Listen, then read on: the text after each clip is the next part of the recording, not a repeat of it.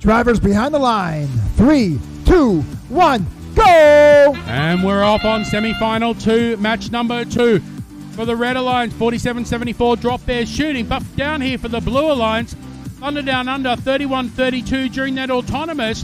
Shooting from the end of the trench run like they have, and great shooting there. Just missing those power cells at the end of the autonomous period. Red Alliance is ahead 47 45. A great scoring start to the match. We've got a lot of blue robots into the center underneath the generator switch.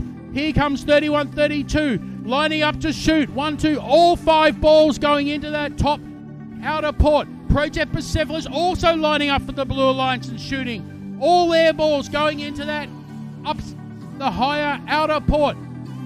Blue Alliance, Red Alliance, neck and neck. 55 84, IC Robotics lining up to shoot. They're in that end of the trench run. They can't be touched. A very good position. Both their shots miss. 56 48 for the for the Blue Alliance. That's Melbourne Robocats trying to play some defense and stop the Red Alliance getting close to shoot. Meanwhile, 31 32. That is a brilliant shooter. And Project Bucephalus 59 85 for the Blue Alliance, shooting and extending Blue's lead. Blue ahead 94 61. We're down to 70 seconds to go. 75 61 for the Red Alliance. That's Blue Flamingos shooting and scoring for the Red Alliance. Red Alliance need to catch up. Drop Bears picking up those cells. Like Project Bucephalus in position shooting, but only two of their power cells going in. Red just scoring from both IC Robotics and Blue Flamingos.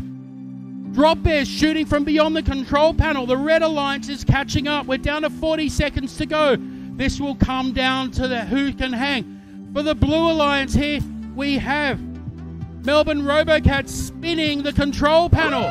This extra 15 points might make the difference at the end of the game. We're down to 25 seconds. The robots are getting ready. We've got two, three red robots back at home. They underneath the generator. Can they get onto the switch? The blue robots are ready. Project Bucephalus, they're ready. For 31-32, score some late points. 56-48. That's Robocats. They're in position. Two blue robots are hanging. Two red robots are hanging.